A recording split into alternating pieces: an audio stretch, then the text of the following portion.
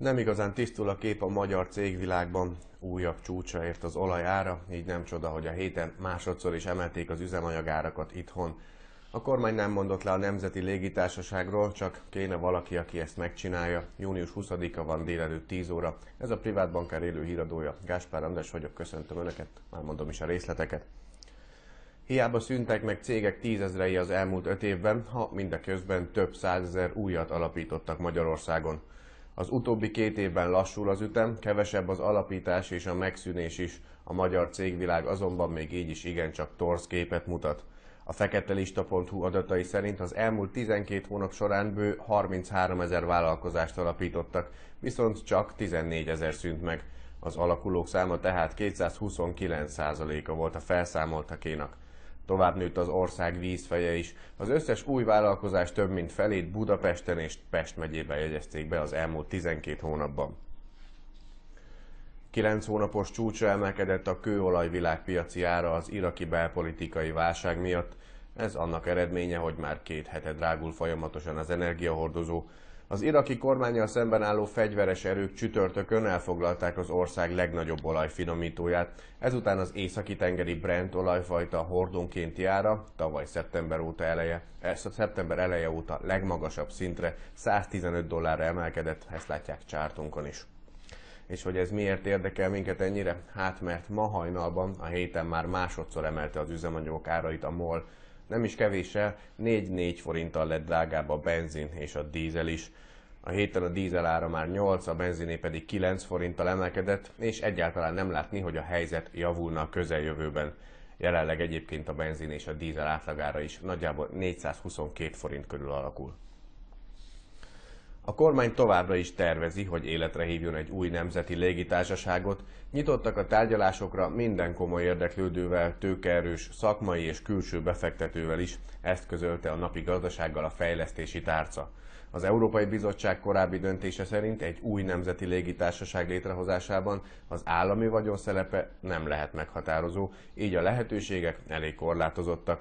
Egy új vállalat megalapítása kizárólag állami forrásokból nehezen lenne finanszírozható, sőt egyáltalán nem lenne finanszírozható, ezt mondta a minisztérium a napi gazdaságnak ami a tőzsdei helyzetet illeti. Az Európa 300 legnagyobb tőzsdei vállalatának teljesítményét mérő Eurofirst Index közel áll ahhoz, hogy a tizedik egymást követő héten is emelkedjen, ilyesmire pedig 2012 óta nem volt példa. Komolyabb mozgásma, mozgásma nem volt a nyitásban, és napközben sem várható. Fontosabb makroadat nem jelenik meg ma, és remélhetőleg a geopolitikai problémák sem ma délután fordulnak rosszabbra. Az európai tőzsdék és a budapesti index is néhány pontos mínuszban nyitott. Lássuk, hogy mi történt az azóta eltelt órában.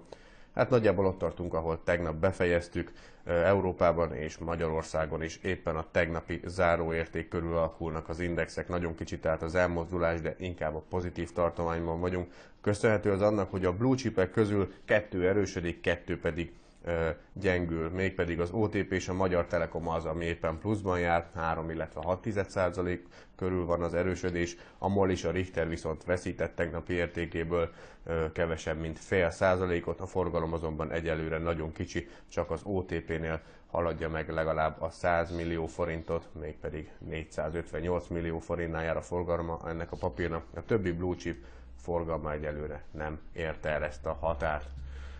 A devizapiacon halványan ugyan, de erősödik a forint, reggel az eurójegyzése újra 306 alá került, bár tegnap napközben 305 alatt is járt a jegyzés. Ami a legfrissebb árfolyamot illeti, 305 forint 73 fillért kérnek ebben a pillanatban a bankközi devizapiacon 1 euróért, erősödik tehát nagyon halványan a forint tovább. A dollár jegyzése 225 forint alatt jár, egy svájci frankért pedig 251 forintot és 20 fillért kérnek a bankközi devizapiacon, miközben az euró-dollár árfolyama szintén igen szűk sávban mozog, 1,3613-nál jár most a jegyzés. Élő híradóval legközelebb délután 1 órakor várjuk Önöket. Addig tartsanak velünk a privátbankár.hu oldalain, ahol folyamatosan friss hírekkel bombázzuk Önöket. Köszönöm a figyelmet, viszontlátásra!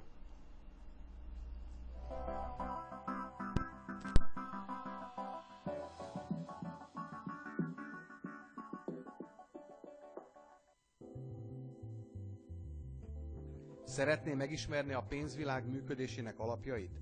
Első kézből akar értesülni a legfontosabb változásokról? Tudni szeretné, mi történik a gazdasági és pénzügyi események hátterében? Utána jártunk. A privátbankár.hu oldalai megjelenő cikkek közül egy csokorba gyűjtöttük azokat az exkluzív anyagokat, amelyek elsőként vagy kizárólag nálunk olvashatók. Mi ugyanis utána jártunk. Háttérinformációk a gazdasági és pénzügyi hírekről, tőzsdei és devizapiaci elemzések, összeállítások, ismeretterjesztő cikksorozatok üzleti alapismeretekről, állampapírokról, befektetési alapokról és az élelmiszerárak alakulásáról. Tudják, privátbankár, pénzügyek, okosan.